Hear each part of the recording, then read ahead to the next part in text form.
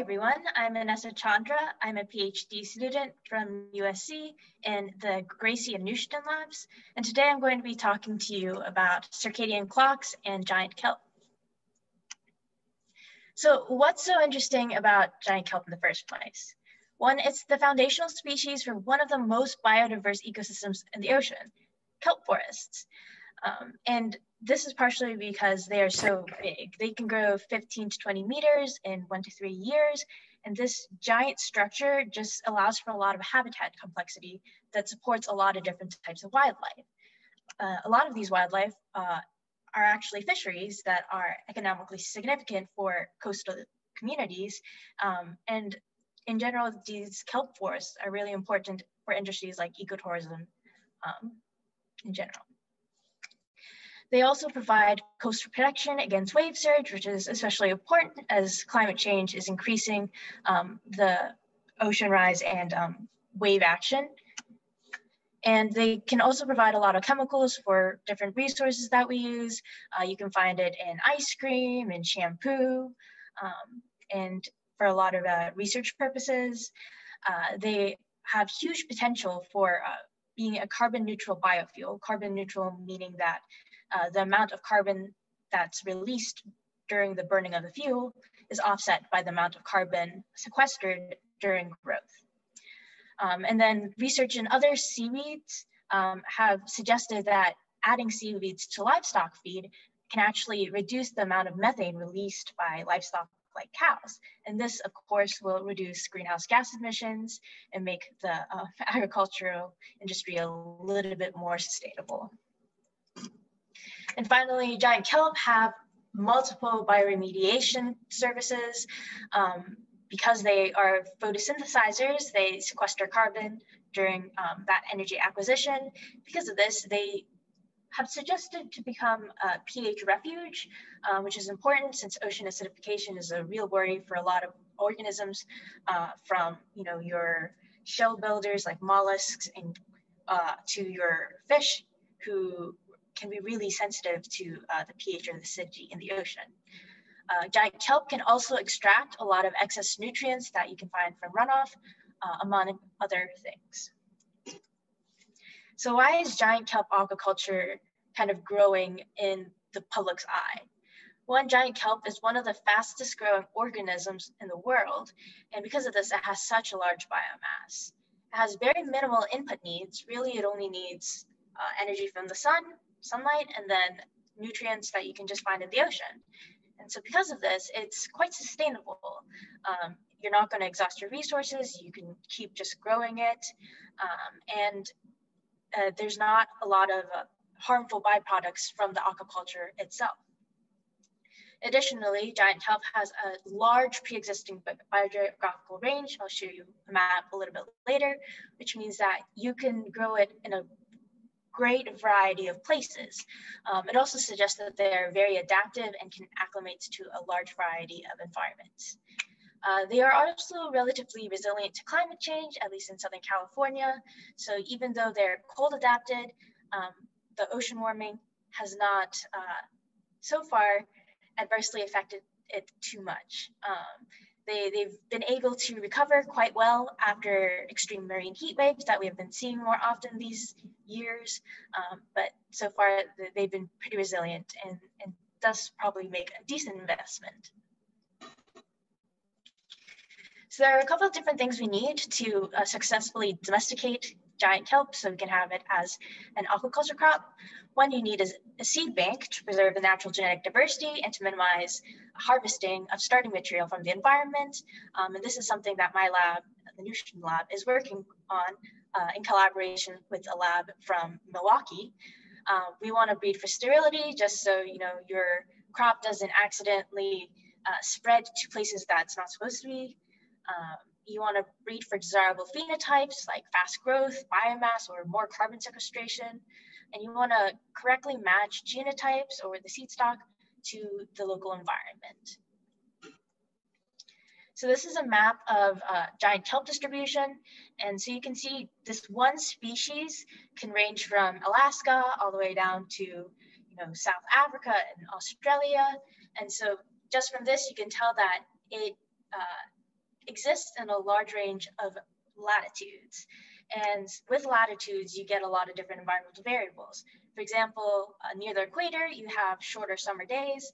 Uh, nearer to the poles, you have longer summer days. And this is especially important for photosynthesizers because uh, you want to be able to photosynthesize the longest time uh, during, uh, during the summer when you have the most light and you have the longest days. Um, other environmental variables that rate can range are temperature and temperature uh, regimes, and also things like water motion. So now kind of moving on to the second part of my talk, the clock, um, let's talk a little bit about chronobiology. So chronobiology is the study of natural physiological rhythms and cyclical processes. Um, it's really focused on the circadian clock, which is the internal biological timekeeping mechanism that uh, supports or keeps these rhythms going. So uh, some examples that you might be more familiar with, uh, some people are morning people, some people are night owls, and this is because of our internal biological clock. Uh, you might experience jet lag from uh, moving across time zones, and that's your circadian clock kind of uh, taking a little bit of time to adjust to your, your new time zone and the differences um, in your, uh, your, especially your daylight and your um, living rhythms. And then just things like your eating and sleeping schedule. So you, you get hungry around the same time, you, you get tired around the same time. This is all um, due to your circadian clock. Some less familiar examples, but nonetheless important ones, are in plants. Uh, circadian clock in plants uh, determine the timing of daily events like photosynthesis or water use, and also the timing of seasonal events like flowering and leaf fall. And this is really important for crops because obviously we want crops to be able to um, reproduce and, and to uh, grow for the longest amount of time before harvest and to uh, photosynthesize and grow and just get that most yield that you can. So overall, the importance of the circadian clock is that it allows you to anticipate daily environmental conditions to optimize your bio biological functioning. So uh, an example of this in terrestrial crop domestication can be seen in tomatoes. So in blue, you have your ancestral tomatoes, which originated near the equator, so around zero degrees latitude, which is your shortest day, uh, summer day length. Um, but as you move away from the equator, uh, equator, as your crop has expanded, people start growing them, you know, farther north or south.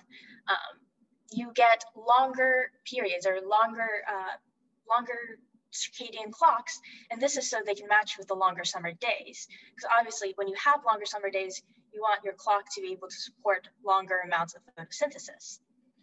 And even though circadian clocks can adjust to different environmental conditions when your natural clock uh, matches with the environment around you, then you are able to outcompete other clocks and other organisms, other organisms or other uh, competitors. Um, and so this clock really, especially with photosynthesizers, means that you photosynthesize more, you're getting more energy, you're able to grow, and you're able to have more yield, which is um, more biomass here. Um, and that's really what we want, especially when we're talking about uh, agriculture, aquaculture, or uh, crops in general. So in general, the circadian clock has a couple different characteristics. Um, one is that it has free running rhythms, which means that they have physiological cycles around 24 hour periods that exist even without cycles of stimuli. So even in complete darkness or you know constant temperature, you still have these physiological rhythms going.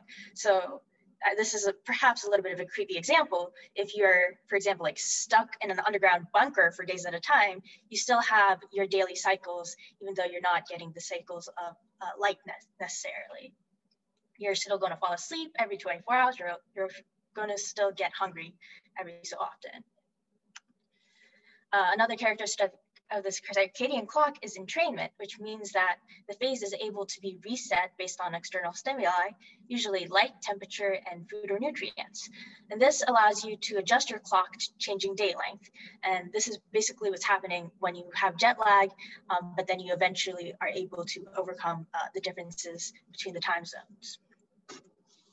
And finally, you have temperature compensation, which means that you are able to keep a consistent rate for your timekeeping mechanism across a temperature range. And this is important because, um, you know, simple physics, as temperature increases, uh, rate of reaction increases, and you, you don't want that to happen with your clock. You want to be able to keep a steady rhythm um, despite anything that's happening um, outside your control. So the circadian clock is made out of three different elements. The first is input pathways, which adjust the clock based on environmental information, such as light, temperature, and nutrients.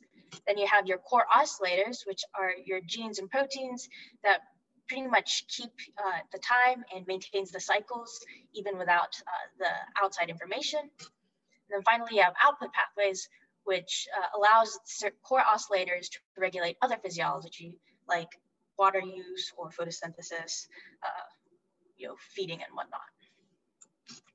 So this is a little diagram over here. You have your input pathways, you get light, uh, temperature, nutrients, um, and they're telling uh, these core oscillator genes or clock genes to turn on or off. Um, and these are going to be transcribed and translated into proteins, uh, which create a negative feedback loop and can go back and uh, inhibit the transcription and translation of uh, their own genes, or they can uh, go and regulate your clock output pathways, um, which can also create products that uh, go back and create another negative feedback loop and uh, regulate your genes for your core oscillators. So that part is called the transcriptional translational feedback loop or TTFL clock. Um, but there are other types of clocks like the redox clock where you don't go through transcription and translation, but uh, it just happens to be cycles of protein modifications. But we won't get that into that too much. So what am I actually doing? So my research is determining the existence of the circadian clock in giant kelp, because although you know a lot of organisms all across the tree of life have circadian clocks, and they all pretty much uh, consist of interlocking loops, the exact components or proteins or genes for those loops differs from organism to organism. Uh, so part of this is going to be identifying clock genes and mechanisms, investigating input stimuli for the clock. So is the giant kelp clock set by light, temperature, nutrients, uh, studying existing circadian variation in giant kelp populations. So along that uh, giant latitudinal gradient, uh, do you have longer clocks in higher latitudes and shorter clocks in near the equator? Uh, then I want to quantify the effects of the circadian traits or circadian phenotypes on desirable traits like biomass, photosynthesis, uh, growth rate. And then I want to construct a breeding plan for enhanced performance based on these clock traits. So this summer, I'm mostly focusing on these first three points. And this is uh, an example of uh, a kelp blade that I've sampled uh, using a little circular blade cutter. So why am I doing it here on Catalina? Uh, so Catalina is home to numerous giant kelp beds, has a long history of giant kelp research, and there's still current research that's really excited and actually uh, very closely related to my project. For example, the Kelp Elevator Project, um, which is being done by Diane Kim and Andy Navarrete. Um, and I won't go really much into it, but that's a cool project. If you have time, you should look that up, or you can contact me and we can talk about it. Uh, and so that's pretty much it. I just want to thank all the hardworking staff at Wrigley and my RE student Janelle. Uh, they've really made my project possible. And if you have any questions or you want to chat, you can contact me at this email address right here. Thank you.